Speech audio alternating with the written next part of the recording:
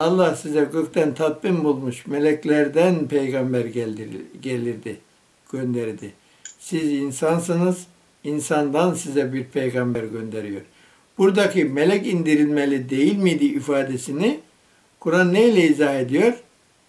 Yani bu da Şura suresinin 14. ayetinde o eğer Allah geçmişte bir söz vermesi olmamış olsaydı melekleri indirir işini bitiriverirdi ifadesini kullanıyor. Buradaki ifade de eğer melek indirseydi bu anlamda yani sizi yeryüzündeki işinizi bitirmiş olsaydı elbette dünya hayatından göçer giderdiniz.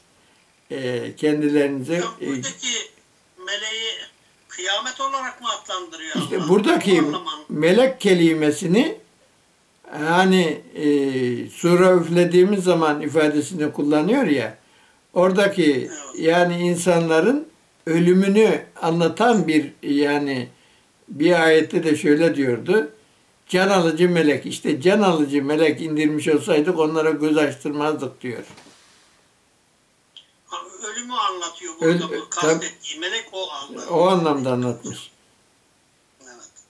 Hatice Hanım can alıcı melek var mı?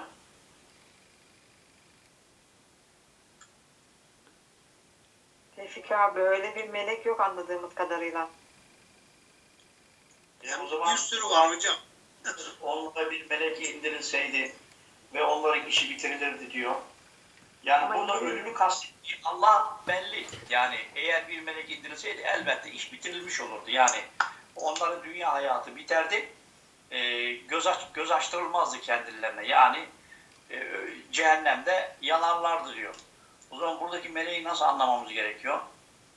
Ben anlayamadım Tevfik abi buradaki meleği. Can alıcı zaten can alıcı melek ifadesini kullanırken arzail değil yani vücuttaki vücuttaki bütün organların, bütün hücrelerin, bütün damarların kendi görev alanında işinin bitmesi artık e, can damarlarının kesilmesi anlamında kullanmış.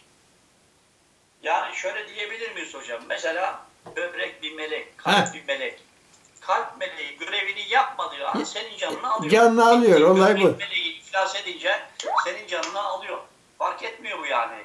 Veya herhangi bir virüs, bakteri, şey, kan, her neyse bu zehirlendiği zaman o melekler görevini ifa edemiyor ve senin canını alıyor. Aynen Ben öyle. böyle anlıyorum yani. geliyor alıyor.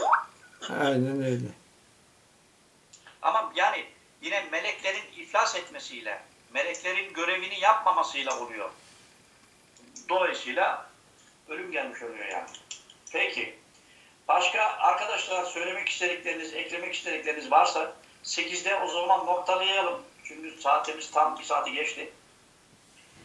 Ee, yarından sonra 9'dan devam ederiz. Yarın inşallah bu Nebi Resul meselesini konuşalım diyoruz. Buraya da yazalım.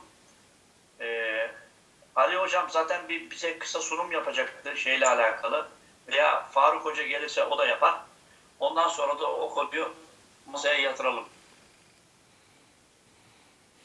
Olur inşallah. Tamam inşallah. Peki. Allah razı olsun. Allah razı olsun. Oldu. Selamünaleyküm. Allah'a emanet olun. Aleyküm. Burada bir video sohbetimizi daha sonlandırırken yeni bir videoda buluşmak dileğiyle Allah'ın selamı, rahmeti, bereketi üzerinize olsun diyorum.